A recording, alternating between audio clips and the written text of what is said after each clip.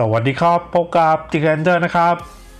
วันนี้นะครับ เดี๋ยวไปตะลุยด่านวิ่งกันโค้งสุดท้ายนะครับ ด่านวิ่งจะจบลงวันพุธนี้แล้วนะ พุธที่ 14 ตอน 10 โมงเช้าครับ แต่ว่ายังทันอยู่นะอ่าบอกแล้วนะครับว่าโค้งสุดท้ายแบบนี้เนี่ย คนที่อยากจะวิ่งติด top ร้อยครับ ถ้าทำ คะแนนวิ่งเฉลี่ยได้สูงนะครับอ่าตัว buff คะแนนวิ่งมีเยอะนะอ่ารอบ collab นะ ตัวแจกฟรีทำสองร่างครับ ultra หนึ่ง hyper หนึ่งนะหรือจะเปิดได้เพิ่มเติมครับ มีตัวบัฟคะแนนวิ่งเยอะๆคะแนนเฉลี่ยสูงนะครับ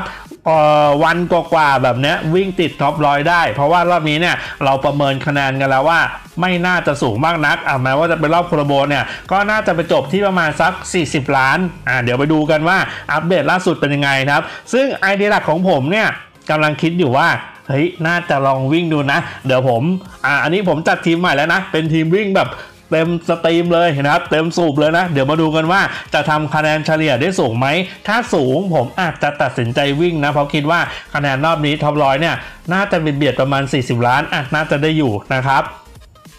อะใครยังอยากเปิด gacha อยู่นะ ranger gear pack ครับอะอยากเปิด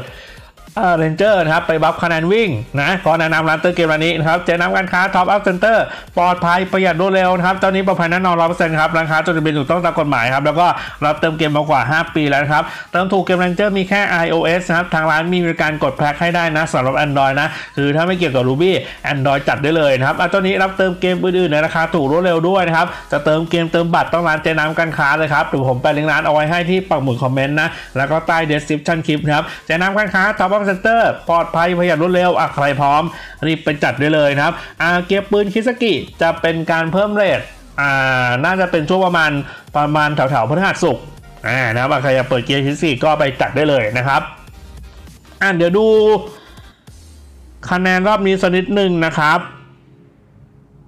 อ่าบอสชัยนะเจ้าของบ่อน้ำมันนะครับอ่าส่วนที่เหลือเนี่ยคะแนนฮุกของผมว่าก็ไม่เยอะเท่าไหร่นะ เพราะว่าบนบนนี้ยังประมาณ 30 กว่าล้านอยู่เลยนะล่างๆก็น่าจะ 20 กว่าล้าน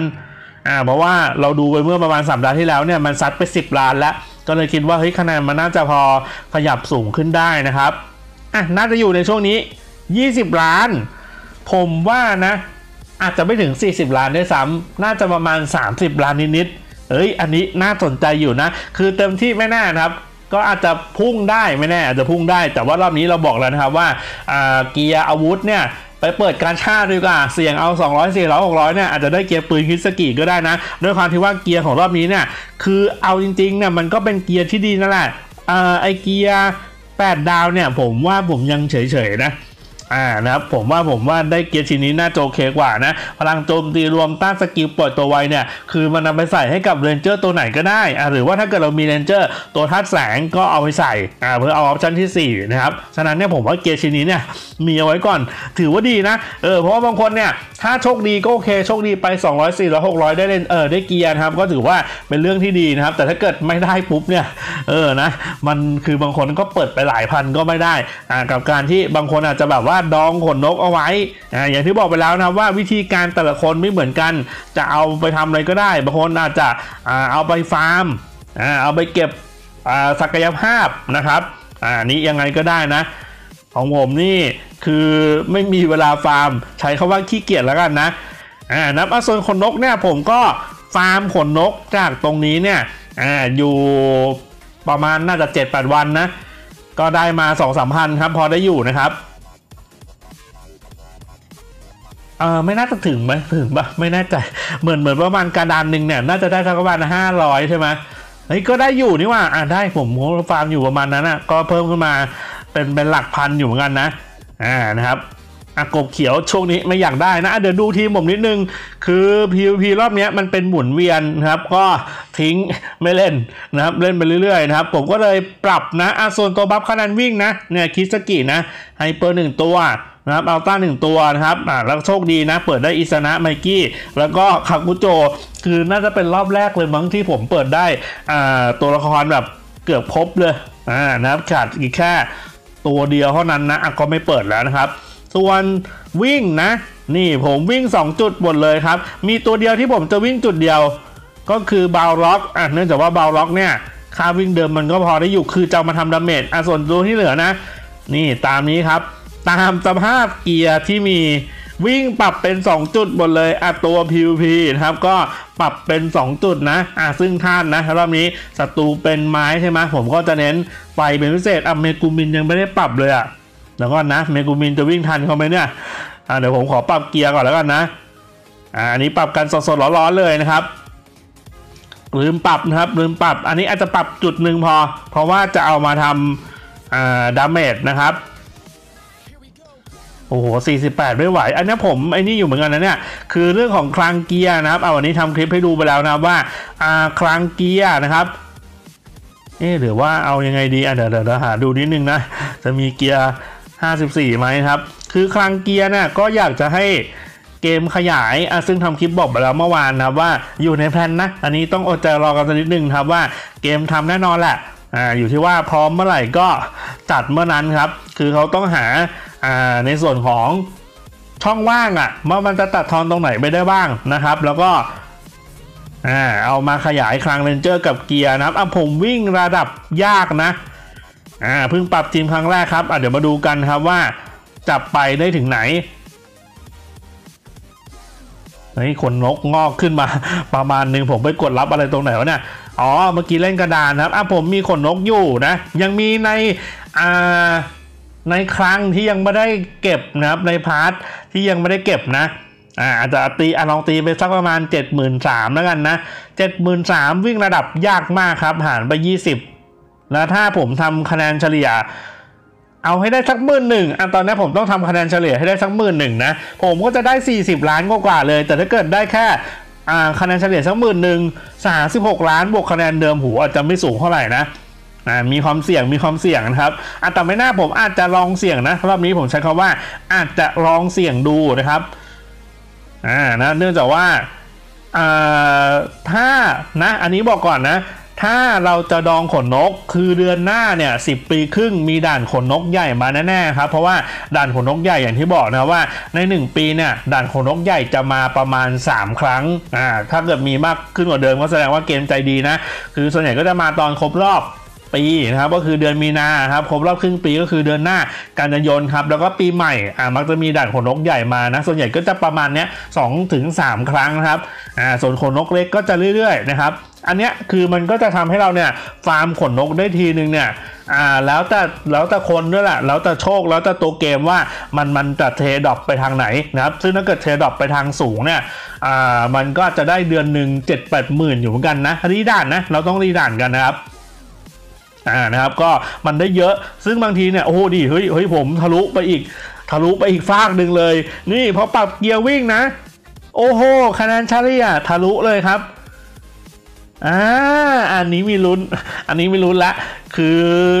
ปรับเกียร์ทั้งทีมเลยอะไอตัวที่เอามาวิ่งเนี่ยผมตั้งใจอ่าปรับมาเป็นแบบนี้อยู่แล้ว อ่าใครได้ดูคลิปวิ่งนะ มันต้องใส่เกียร์ประมาณนี้นะ ยิ่งใครมีเกียร์อาวุธดีๆ ก็จะยิ่งได้เปรียบครับ ส่วนเกียร์วิ่งเนี่ยเป็นเกียร์ฟรีหมดเลยนะอ่าหลักๆ ผมก็จะใช้เป็นรองเท้านะครับรองเท้าเลย หรือถ้าใครเปิดตู้กระชาเนี่ย มันจะมีเกียร์วิ่งอยู่ 2 ชิ้นใช่ไหมอ่ามันมีชุดชุด 3ก๊กป่ะ อ่าผมจำไม่ได้ละ เหมือนว่าจะเป็นเกียร์ชุด 3ก๊กนะครับอยู่ชิ้นหนึ่งนะ แล้วก็เกียร์รองเท้าอะไรสักอย่างหนึ่งอะ อ่าที่มันเป็นค่าวิ่ง แต่ว่าค่าวิ่งมันจะไม่สูง มันจะไม่เหมือนรองเท้าปีกเมฆนะรองเท้าปีกเมฆเกียร์ฟรีเนี่ยมันจะมีค่าวิ่งที่ค่อนข้างจะสูงอ่าก็คือ 54 อ่า54 60นี่น่าจะไม่เห็นละมั้ง60นี่น่าจะเป็นอ่ายุคถอยหลังไปสักประมาณ2-3ปีนะครับ เพราะว่าอ่ายุคนั้นเนี่ยค่าเกียร์รองเท้าปีกเมฆเนี่ยมันยังมีค่าลดแร่สูงสุดที่38.4%ซึ่งปัจจุบันไม่มีแล้วปัจจุบันสูงสุดมันจะเป็น37.8%อ่าก็คือค่าเริ่มต้นจะเป็น6.3เมื่อก่อนจะมี6.4นะอ่าเมื่อก่อนจะเป็น 6.4 นะครับ แต่ถ้าเกิดเป็นรองเท้ายุคแรกเลย จะไม่มีลดแร่มีหลบ skill ด้วยนะ อ่านะขึ้นอยู่ว่าใครได้เก็บเอาไว้ครับดูดีดูดีวิ่งไปได้ไกลแค่ไหนนะครับเอาผมไม่ได้ผมจะไม่ได้กด item นะ เพราะว่าอย่างที่บอกครับว่า เวลาเรา auto เนี่ยเราไม่ได้สนใจอะไรอยู่แล้วครับ เราก็ปล่อยหน้าจอทิ้งเอาไว้อ่าฉะนั้นเนี่ยคือจริงๆมันช่วยได้นะ อันเนี้ยต่ำลงมาอีกแล้วต่ำลงมาอีกนิดนึงคือต้องพยายามควบคุมเอ้ยอย่างเงี้ยผมว่าน่าจะได้แล้วมั้งถ้าสมมติว่าผมตีค่าเฉลี่ยต่อรอบได้ประมาณสักหมื่นหนึ่งอะ เออ อันนี้ผมวิ่งน่าจะวิ่งได้ 40 ล้านนะครับ คือถ้าไม่ได้ก็ไม่เป็นไร เพราะว่าถ้าสมมตินะ สมมติผมดองขนนกเอาไว้นะครับ แล้วตอนนี้มีเท่าไหร่นะ มี 70,000เออจริง ๆ ก็จริงก็ไปดองอ่าไปดองไปรอบต่อไปก็ได้มั้งนะ แต่มันก็มีความเสี่ยงสูงอะ อะผมใช้คำนี้ คือจริงๆเนี่ยถ้าเป็นคนอื่นน่ะอาจจะเลือกดองขนนกนะครับ แล้วก็เก็บเอาไว้ก่อน เอาให้มีสักแสนกว่านะครับ อย่างอันเนี้ยถ้าสมมติว่าผมดองผมอาจจะมีขนนกได้ประมาณสักแสนสามแสนสี่ซึ่งเอาจริงๆเนี่ยแสนสามแสนสี่เนี่ยมันพอจะมีโอกาสนะ ในกรณีที่คะแนนวิ่งอาจจะไม่ได้สูงมากนะะเดี๋ยวผมลองประเมินคร่าวๆดูแล้วกันนะ คือด้วยความที่ว่ารอบนี้ทำไมถึงตัดสินใจวิ่ง คือมันเปิดได้ตัวบัฟคะแนนวิ่งอะ่ะ มันก็เลยแบบเอานะไม่เป็นไร อย่าไปโลภมากนะครับ คือสมมติผมมีขนนกแสนสี่อันในกรณีที่เดือนหน้าดันขนนกใหญ่มาแล้วผมฟาร์มได้นะ แล้วก็เก็บสะสมมีทั้งแสนสี่อย่างเงี้ย วิ่งนะครับ ได้ 7,000 รอบ สมมุติว่าผมได้คะแนนเฉลี่ยสักหมื่นหนึ่งซึ่งก็ยากอยู่เหมือนกันนะ วิ่งได้คะแนนเฉลี่ยหมื่นหนึ่งเนี่ย คือมันต้องเปิดได้ตัวบัฟคะแนนวิ่ง มันก็จะไปจบที่ 70 ล้าน ซึ่ง 70 ล้านเนี่ยผมใช้คำว่าแล้วแต่รอบจริง ๆ นะ ถ้าบางรอบเนี่ย มันเป็นรอบที่ เฮ้ย คนแบบอยู่ดีๆก็ไม่วิ่ง ซึ่งก็ยากอยู่เหมือนกันแหละ เพราะว่าเรารู้กันนะครับว่าเกียร์วิ่งเนี่ยป้องกันกับตกแต่งมันเลือกอัปเกรดธาตุได้นะครับ แล้วก็อัปเกรดธาตุเนี่ยต้องบอกแบบนี้คือมีหลายคนเนี่ยแอบรอลุ้นครับด้วยความที่ว่าเกียร์ของรอบนี้เนี่ยเกียร์แสงมันตกมาอยู่ในรอบ collabo นะครับแต่อย่างที่บอกนะว่ามันก็เปรียบเสมือนเกียร์ชิ้นทั่วๆไปนั่นแหละ อ่านะแค่ option เนี่ยมันเป็นของธาตุแสงก็เลยไปเลือก option ได้นะครับ แต่ถ้าเกิดเป็นเกียร์ป้องกันกับตกแต่งปุ๊บเนี่ยมันจะเลือกอัปเกรดธาตุได้ ซึ่งในในเกียร์อ่าในเกียร์รอบโคโลโบเนี่ยอัปเกรดธาตุมันก็จะมีแค่ธาตุปกติอ่าแต่พอมันมีธาตุแสงมาปุ๊บเนี่ยผู้เล่นก็แอบหวังว่าเฮ้ยจะมีอีกไหมอาจจะมาตกเป็นเกียร์ป้องกันหรือตกแต่งไหมเออแล้วมาขายนะครับ อันนี้ผมไม่รู้ไม่สามารถคำตอบได้ แต่เท่าที่รู้แผนที่เขาแบบคุยคุยกันเนี่ย ผมใช้คำว่ามันน่าจะยากมาก หรืออาจจะไม่เกิดขึ้นก็ได้ ด้วยความที่ว่าด่านวิ่งอะอ่ามันเขาเรียกว่าอะไรอะ มันเป็นความศักดิ์สิทธิ์ของด่านวิ่งอ่าครับไม่งั้นเนี่ยมนมันจะเสื่อมคลายนะครับ คือถ้าสมมตินะสมมติว่าเกียร์รอบโคโลโบสักรอบหนึ่งเนี่ยมาเป็นเกียร์ป้องกันหรือตกแต่ง แล้วเป็นแสงหรือเป็นมืดขึ้นมาปุ๊บเนี่ยแน่นอนครับการเปิดการชายันการันตีเนี่ยเพียบ ผมบอกเลยว่าเพียบอย่างแน่นอนนะครับ เพราะว่าบางคนอาจจะไม่เคยได้วิ่งเลย ไม่มีโอกาสได้วิ่ง สาเหตุเพราะว่าขนนกอะโหก็จะเก็บดองได้นะเออนะครับหรือบางทีอาจจะต้องซื้อแบบไม่มีขนนกดองนะครับ แล้วก็ซื้อขนนกเนี่ยการลงทุนมันจำนวนเยอะมาก มันไม่เหมือนกับเปิดตู้กระชาที่ไอ้บางทีมันอาจจะได้เกียร์เยอะมากกว่า 1 ชิ้นอะคือมันมีโอกาส ที่จะคุ้มค่ามากกว่ากันเยอะนะครับฉะนั้นเนี่ยเกมก็คงไม่น่าทำผมคิดว่าไม่น่าทำอยากจะให้ความศัดสิทธิ์มาอยู่ที่ด่านวิ่งมากกว่าว่า ถ้าคุณอยากจะได้เกียร์คุณต้องมาแย่งกันอ่าแย่งกันแล้วก็แน่นอนครับเกมก็ได้เกมก็ได้ผลประโยชน์ อันนี้คือมันเป็นเรื่องปกติอยู่แล้วอะเพราะว่าเกมก็ไม่ได้ทำมาเพื่อการกุศลนะอ่าเกมไม่ได้ทำมาเพื่อการกุศลครับเขาก็ต้องการรายได้นั่แหละ ไปแบบอะอย่างน้อยก็อ่า เงินเดือนเงินรางวัล พัฒนาเกมอะส่วนเรื่องของโปรเนี่ยเขาก็เอาไปดูแลนะ เพียงแต่ว่าจุดหนึ่งเนี่ยที่ผมมองนะครับอ่าถ้าสมมติว่าเราเอาเงินจำนวนมากไปลงทุนกับการจัดการโปรนะครับ ซึ่งซึ่งความรู้ที่ผมเคยได้จากเกมมืออื่นนะ เพราะว่ามีเพื่อนที่เป็นเดฟอยู่บ้างนะครับ คือเขาบอกว่า บางทีอะถ้าเราเอาเงินลงทุนจำนวนมากเกินไปนะครับ ไปจัดการโปรอย่างเดียวเลยอะแล้วเกมแบบว่าเงินพัฒนามันมีน้อย และเกมไม่พัฒนาเนี่ยเกมก็ไปต่อลำบากอยู่เหมือนกันนะครับ แล้วก็มีความเสี่ยงสูงมากสาเหตุเพราะว่าไม่ว่าเราจะลงทุนขนาดไหนเนี่ยยังไงโปรก็มีถ้าเกมดังนะคือเพื่อนผมบอกวันนี้ว่าถ้าเกมดังนะ หรือว่าเกมคนเล่นเยอะ อ่านะครับมีเม็ดเงินจำนวนมากเนี่ยโปรมันต้องเข้ามาอย่างแน่นอน ไม่ว่าจะเข้ามาทดสอบนะครับอ่าเข้ามาลองของนะหรือว่าทำมาเพื่อขายยังไงมันก็ต้องมีนะอ่าเพราะว่าเกมเนี่ยโหมีหลากหลายเกมอะใครมีประสบการณ์เกมอื่นก็มาเล่าสู่กันฟังได้ครับว่าโปรในเกมเนี่ยเออเกมอื่นที่แบบจัดการแบบโหจริงจังเบ็ดเสร็จเด็ดขาดเนี่ยผมว่าน่าจะมีน้อย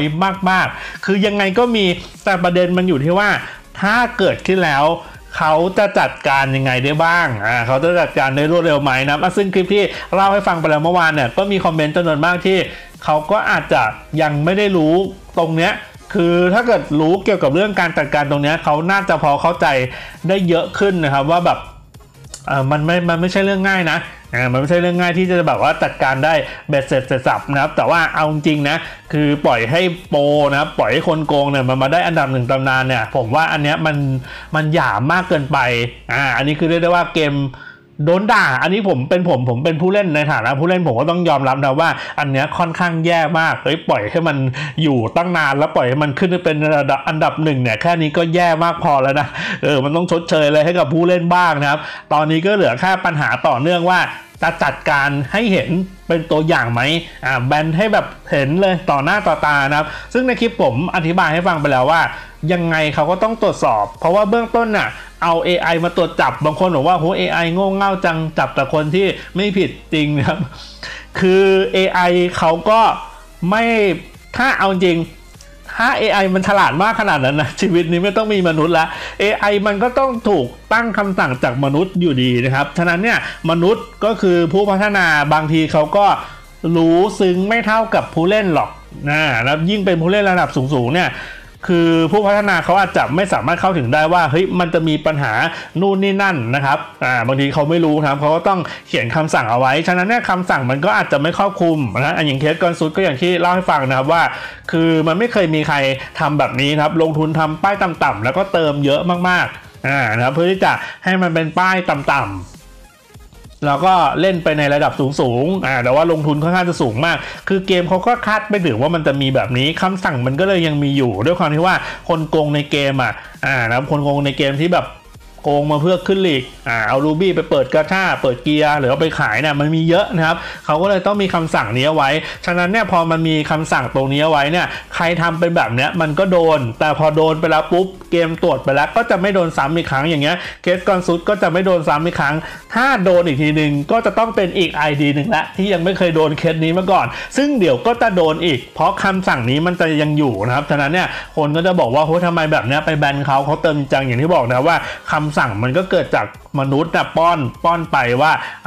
ทำทำเงื่อนไขอะไรแบบไหน หรือดูเก่งเป็นพิเศษโอเวอร์เป็นพิเศษ เหมือนตอนที่ลุงยุทธโดนในด่านวิ่งเนี่ยลุงยุทธก็โดนโหดเกินไประบบตรวจจับแต่ตอนนั้นนะผมไม่รู้ว่ามันตรวจจับอะไรนะครับ แต่ว่าก็ปลดออกมานะลุงก็งุดหงิดไปครับ แต่ว่าปลดอย่างรวดเร็วนะเพราะว่าลุงนี่เข้าไปเม้งแหลกเลย เออนะ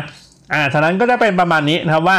ระบบ AI ตรวจสอบ ถ้าสมมติว่าตรวจสอบแล้วไม่เจอ แน่นอนมันก็ต้องหลุด แต่ถ้าเกิดสมมติว่าเป็นเคสใหญ่หรือเป็นเคสที่แบบว่าเฮ้ยไอ้นี่มันโกงจริงจังนะ มันก็จะมีส่งหลังบ้านเข้าไปเยอะ เขาก็จะรู้ครับ ผ่าน AI มาแล้ว คนก็จะเข้าไปตรวจสอบอีกทีนึงอ่านะครับก็คือทางฝั่งไลน์ก่อน จะตรวจสอบอีกทีนึงครับ ซึ่งถ้าเกิดเขาตรวจสอบแล้วเฮ้ยมันยังไม่พบสิ่งผิดปกติ หรือว่ายังไม่แน่ใจเนี่ยเขาก็จะต้อง Export ออกไป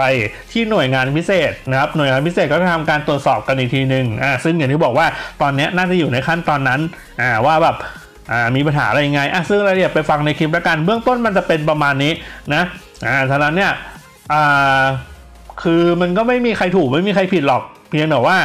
การจัดการน่ะผมถึงบอกว่าตรงการจัดการเนี่ยสำคัญที่สุดว่าทำยังไงให้พอโปรมันเกิดขึ้นแล้ว คือทุกวันเนี้ยเราก็จะเห็นครับว่า Reset League PVP เนี่ยมันจะมีคะแนนคนโกงเนี่ยค้างอยู่ตามต้นลีกต่างๆ เราเห็นอยู่ทุกสัปดาห์ครับ อันนั้นคือมันโดนแขวนหมดแล้วอ่าทุกสัปดาห์จะมีแบบนี้เพราะว่า AI มันตรวจจับได้ ไอ้โปรที่แบบว่าเกมเคยเจอละเคยมีเคสละมีตัวอย่างแล้วว่าโกงด้วยวิธีแบบนี้แบบนี้แบบนี้แบบนี้เนี่ยเขาแบนหมดนะเขาแบนหมดไม่รอดนะครับ แต่บางเคสเนี่ยมันเป็นเคสที่เกิดขึ้นมาใหม่ ๆ อย่างที่บอกนะว่าเหมือนเหมือนแบบสมมติว่ามีบ้านหลังหนึ่งที่มีของที่แบบโอ้โจรมันอยากจะได้มากเออไม่ว่าใครก็อยากจะได้เนี่ยถ้าสมมติว่า เขามัวแต่พัฒนา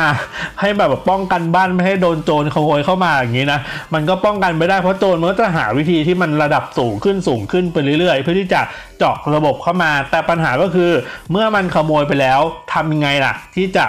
จัดการตรงนั้นได้อย่างรวดเร็วอะผมมองถึงตรงนั้นมากกว่านะอะฉะนั้นเนี่ยระบบเกมเขาก็คงน่าจะมองไม่ต่างกันนะครับว่าอ่าพัฒนาการจัดการโปรเนี่ยเขาทำอยู่แล้วล่ะเพียงแต่ว่าพัฒนายังไงก็ไม่เกินไม่เกินโจนอะ โจนก็ต้องพัฒนาขึ้นไปได้อีก เออฉะนั้นเนี่ยก็จะเป็นประมาณนี้นะอ่าผมก็แอบลุ้นอยู่เหมือนกันนะว่าถ้าจัดการช้าหรือไม่จัดการเนี่ยเละบอกเลยเละแน่นอนก็เลยเดี๋ยวลุ้นกันนะภายในสัปดาห์นี้นะอ่าเริ่มทำการวันอังคารนะครับ อังคารถึง วันเสาร์อะเดี๋ยวรอดูถ้ามันยังอยู่นะ หน้าด้านอยู่ได้นะ บอกเลยครับ เกมจุกอย่างแน่นอนอะก็รอติดตามแล้วกันนะเอาโอเคดันวิ่งประมาณนี้อ่าผมปรับเกียร์นะ อันนี้คือตัว PVP ครับปรับเกียร์หมดเลยนะ เรียกได้ว่าเห็นผลชัดเจนครับ นี่วิ่งมาถึงจุด 800 นะครับ แล้วก็สามารถที่จะวิ่งเกินไปได้ นี่เยอะอ่าโอเค โอเคอยู่นะอคะแนนเฉลี่ยขึ้นมาสูงแล้วนะครับแบบนี้ผมอาจจะลองดูแล้วกันนะว่า อาอาจจะวิ่งอะคงวิ่งกว่าตัวเดี๋ยวรอดูแล้วกันนะอ่าว่าจะเอาไงดีครับ เพราะว่าอย่างที่บอกครับว่าถ้าสมมติเป็นเพื่อนๆอะลองคอมเมนต์บอกกันหน่อยว่า แบบเนี้ยจะเอายังไงดี ผมมี 70,000 ใช่ไหมเดือนหน้าด่านขนนกใหญ่ผมรีด่านเล่นอยู่แล้วนะครับ ก็น่าจะได้อีกประมาณสักหกหมื่นก็จะเป็นประมาณแสนสามแสนสี่เพราะเมื่อกี้เราก็จะเก็บนะในส่วนของกระดานห้องทดลองรับ สมมุติได้แสนสี่เนี่ยโอกาสที่จะวิ่ง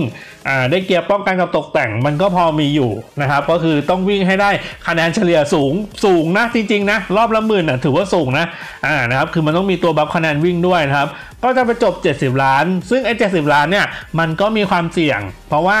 บางรอบเนี่ย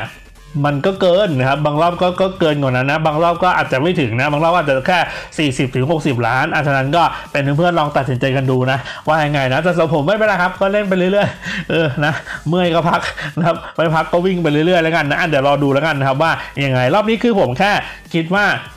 อาจจะวิ่งติดท็อปร้อยโดยที่อาจจะยังเหลือขนนกอยู่อ่าแล้วเดี๋ยวดองดองๆกันใหม่ๆอะไรเดี๋ยวมีโอกาสแล้วเดี๋ยวค่อยหาโอกาสวิ่งกันใหม่ทีนะ คือผม อาจจะเป็นคนที่แบบว่ามีโอกาสเพียงแค่นิดเดียว ถ้าอยากจะลองก็ทำเลยอ่าเหมือนรอบนี้นะอ่าแล้วแต่ตัดสินใจนะว่าจะยังไงนะครับอะซึ่งใครไม่มีตัวบัฟขนาดวิ่งนะอ่าอยากจะลองนะครับหรือว่าอ่ามีความใกล้เคียง หรือถ้าเอาจริงๆเอาดีๆเก็บไว้ก่อนก็ได้ แล้วเดี๋ยวเดือนหน้าสะสมขนนก อ่านะครับอีกทีหนึ่งแล้วค่อยไปตัดสินใจวิ่งกันอีกทีหนึ่งก็ได้นะครับ ก็แนะนำร้านเติมเกมร้านนี้นะครับเจนังการค้าทาวเวอร์เซ็นเตอร์ปลอดภัยประหยัดรวดเร็วครับตอนนี้ปลอดภัยแน่นอนร้อยเปอร์เซ็นต์ครับร้านค้าจดทะเบียนถูกต้องตามกฎหมายครับแล้วก็รับเติมเกมมากว่า 5 ปีนะครับเติมถูกเกม Ranger มีแค่ iOS ครับทางร้านมีบริการกดแพ็คให้ได้สำหรับ Android นะหรือถ้าไม่เกี่ยวกับ Ruby นะ Android จัดได้เลยครับตอนนี้รับเติมเกมอื่นในราคาถูกรวดเร็วด้วยนะครับจะเติมเกมเติมบัตรต้องร้านเจนังการค้าครับเดี๋ยวผมแปะลิงก์ร้านเอาไว้ให้ที่ปักหมุด comment ครับเจนังการค้าทาวเวอร์เซ็นเตอร์ปลอดภัยประหยัดรวดเร็วนะครับอะใครพร้อมรีบไปจัดเลยครับอ่าวันนี้ประมาณนี้แล้วกันครับ